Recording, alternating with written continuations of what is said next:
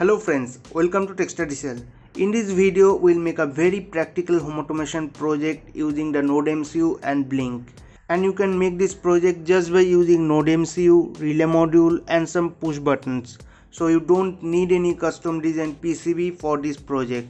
Now if you have multiple rooms and you want to control all the home appliances from your smartphone, then you can make this project for your home and here I have used only two node MCU but you can connect in number of node MCU to the same Blynk account to control home appliance for in number of rooms. Let me show you how it works. This node MCU is connected with the room 1 appliances and this node MCU connected with the room 2 appliances and I can control the appliances for both room from this Blynk app. So let me turn on all the lamps for room 1 you can see all lamps turns on.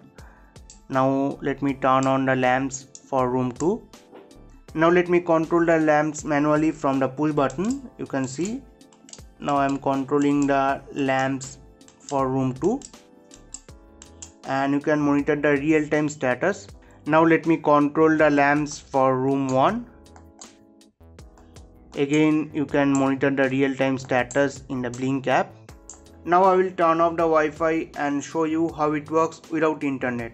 After turning off the Wi-Fi, you can see the blue LED turns off which indicate now NodeMCU is not connected with the Wi-Fi so I can control the appliance only from this push button. And we can't monitor the real-time status in the Blynk app as NodeMCU is not connected with the Wi-Fi.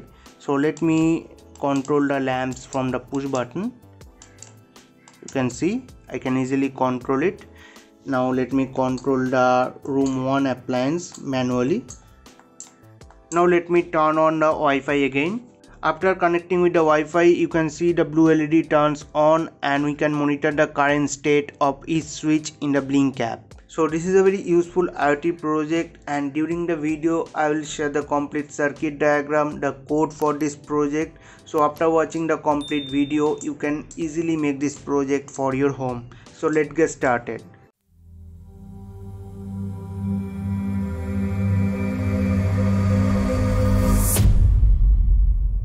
As I said you can connect multiple node MCUs. So for each room you need one node MCU a relay module and some push buttons.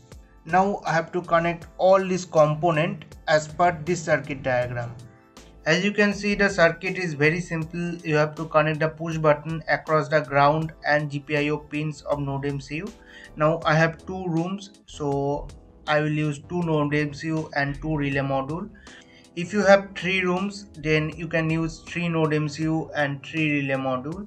There is no limitation. You can connect in number of node MCUs with the same Blynk account to control all the home appliance of your house. As you can see there are a lot of connection. So to give the project a professional look I have designed a PCB for this project and order it from the JLC PCB but as I said you can make this project without using any custom design PCB but if you want to order this custom design PCB you can download the Gerber file from the video description then order it from the JLC PCB you can order any custom design PCB from JLC PCB with three simple steps.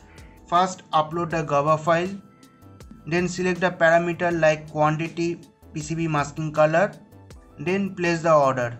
If you select faster delivery service then you will get the PCB within a week and as you can see the quality of the PCB is very premium in this affordable price range. So you can always try JLC PCB for your any custom design PCB project. Now these are the component required for the PCB now I will quickly solder all the component on the PCB now let me connect the node MCU with the PCB before uploading the code I have to configure the Blynk app for this project so you can download it from google play store or app store. Now i will tap on open then tap on new project. Here you can give any name. I am giving home automation. Then i will select the node mcu device and connection type should be wi-fi. Now i will tap on create. Now Blynk will send a authentication token to the registered mail id which will be required in the code again i will tap on ok. Now i will tap on the plus icon and go to this widget box. And here i will add 8 button. So i will use this first four button to control the appliance for room 1 and i will use the next four button to control the appliance for room 2 now i will tap on the first button. And in the pin i will select virtual pin v1 and as I am using an active low relay module so to turn off the relay I have to send 1 and to turn on the relay I have to send 0 and mode will be switch thus I have created our first button for relay 1 in similar way you have to configure all the 8 buttons using virtual pin V1 to V8 now let me change the color of these buttons. So I will tap on V5 and here you can change the color. You can select any color. Now our Blynk app is ready. Now we'll move to the coding part of this project. This is the code for this project. You can download this code from our website iot circuit hub. So please visit our website. Link given in the description. Then you can download the code from this button. I have already explained this code in my previous video. You can find a link in the description now here you can see these are the GPIO pins I have used. And for room 1 I am using this virtual pin V1 V2 V3 V4 and here I have to enter the authentication token sent by the Blynk so I have to go to the registered mail ID and here I have to copy this authentication token. Then here I have to paste it. Here I have to enter the Wi-Fi name and the Wi-Fi password now if you refer the same circuit then after doing this much of changes you can directly upload the code to the first node MCU so I will go to tools select the board as node MCU1 you can find the board under ESP8266 and node MCU 1.0 and I have to select the proper port then hit the upload button. Now I have to connect the second node MCU with my laptop and before uploading the code to second node MCU I have to change this virtual pin. So I will use V5 to V8 to control the appliance for room 2 but if you want to connect different Wi-Fi network for second room then you have to change the Wi-Fi credential. The authentication token should be same as we are controlling the appliance from the same Blynk account. So now I can upload the code and again in the tools you can see I have selected the node MCU board and a proper port. Now I can hit the upload button. Now if you have three rooms then you have to change this virtual pin accordingly and create the buttons for the third room in the Blynk app. After uploading the code I will connect the home appliances with the relay module as per this circuit diagram. As you can see I have connected these lamps with the relay module as per the circuit now let me turn on the 5 volt supply.